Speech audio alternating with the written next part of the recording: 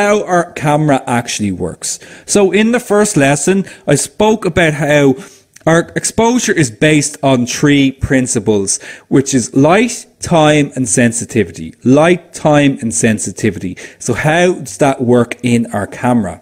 Well, if you're anything of a historian, or an artist, you've probably come across what's called a camera obscura. Camera obscura has been around for centuries, for a very, very, very long time.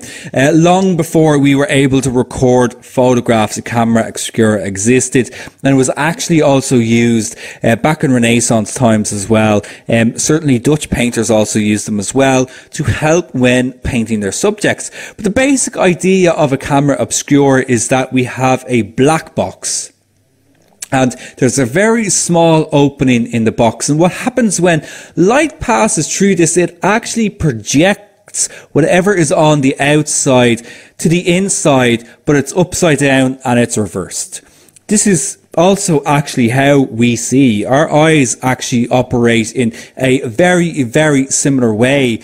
We, we receive images upside down, but our brains flip everything up the right side. Okay, so there's a little bit of a fact for you. But basically, this is how physics of light works. When it's passed through this small hole, it's actually projected on the other side, upside down and back to front.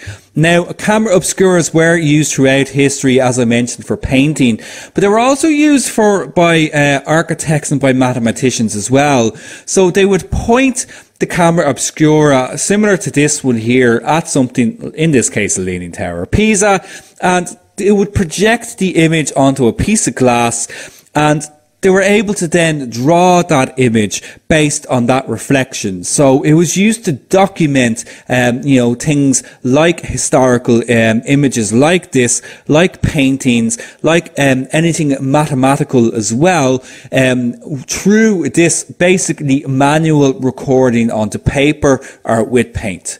Now, that is how our cameras basically work. The big advance was that we were able to record images onto light sensitive material. And this is where photography was born.